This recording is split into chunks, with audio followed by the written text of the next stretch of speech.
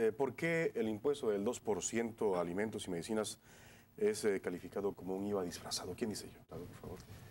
Para el PRI queda muy claro que en este momento no podemos grabar los alimentos y las medicinas porque atentaríamos contra las economías de las familias más desprotegidas. La vía para solucionar el problema financiero de la administración del gobierno federal está por la vía del ahorro.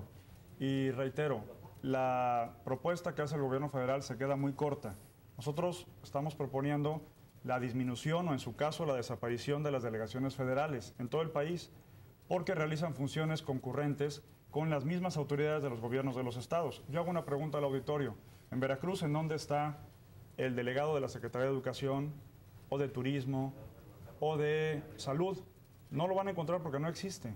Esas funciones las realiza el secretario del ramo del gobierno del estado. Por lo tanto, es que aquí hay un problema que es más de fondo que el hueco que ha anunciado el secretario de Hacienda. La economía del país tiene un hueco por sí misma estamos decreciendo. Este año vamos a terminar en una disminución del 7% del Producto Interno Bruto. Y el gobierno de Calderón en esta ocasión decidió presentar un paquete económico que resuelve el problema de la administración del gobierno, pero agudiza el problema económico de millones de familias al agravar con IVA en alimentos y medicinas y también con la propuesta de otro número de impuestos en diferentes sectores de la población. Bien, eh, con relación a, estos impuestos que tendrán que pagar o que tendrían que pagar también los, los empresarios, eh, ya escuchábamos declaraciones de la Coparmex que dice se inhibiría la inversión privada ante el incremento del ISR, tendrían que pagar impuestos en telecomunicaciones, en telefonía, en internet, en celular, etcétera. Eh, ¿Ustedes qué efecto ven? A ver, estamos enfocando la discusión en la materia de ingresos exclusivamente. Y desde mi punto de vista, tenemos que empezar por la raíz. Tenemos que hacer una reforma del gasto, que no solamente es un gasto excesivo, es un gasto ineficiente. Y por lo tanto, cualquier incremento de ingresos vía impuestos o cualquier otro ingreso extraordinario se va a ir a un gasto burocrático que nada beneficia al desarrollo económico del país. No solamente se ha incrementado la administración en los últimos periodos de los gobiernos federales, hay ineficiencia en los fondos federales que han sido altamente criticados en los famosos subejercicios. No es posible que tengamos un gobierno endinerado y un pueblo empobrecido. Hoy los fondos de fomento para la micro y pequeña empresa, el fondo para el fomento ganadero y agrícola, el fondo de desastres naturales, tiene parados en las cuentas bancarias del gobierno federal más de 120 mil millones de pesos. Y por reglamentación excesiva, burocrática, no se puede destrabar y llegar a los gobiernos de los estados para que ese dinero pueda circular en la economía y favorecerlos. Pongo un ejemplo.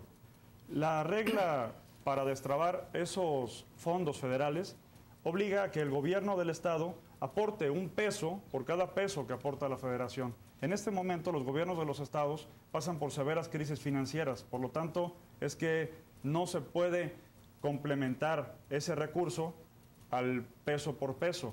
Lo que el PRI está proponiendo en este momento es que a través de un decreto federal se elimine el requisito de que los gobiernos de los estados tengan que aportar ese recurso para que se pueda destrabar el dinero federal, para que de inmediato pueda los solicitantes, como son los empresarios en pequeño, los campesinos, los ganaderos y demás beneficiarios de este recurso, puedan ya tenerlo de inmediato. Por lo tanto, y con esto concreto. No vamos a aprobar un incremento en el impuesto en IVA en alimentos y medicinas si va a servir para engrosar las filas de la burocracia federal. Tenemos que realmente darle dinero, sí, al gobierno, pero para que ese dinero sirva para el desarrollo de la economía del país.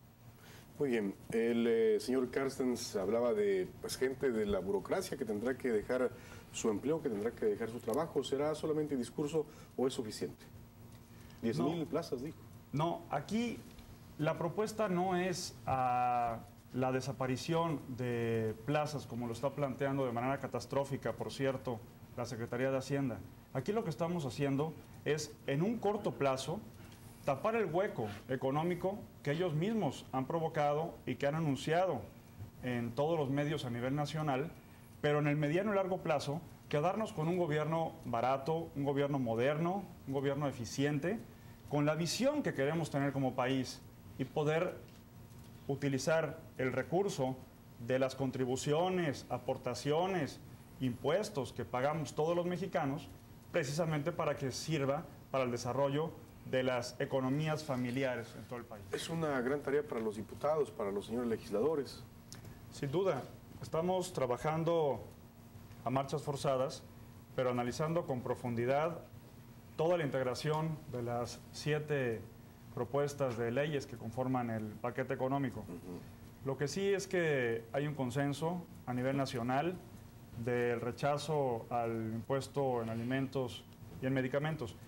Y no es una posición radical del PRI, es una posición que se basa en la gran necesidad y en las voces de todas las familias de México.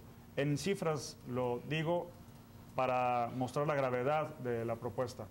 El 45% de las familias que integran la sociedad mexicana gastan el 90% de sus ingresos en alimentos y en medicamentos.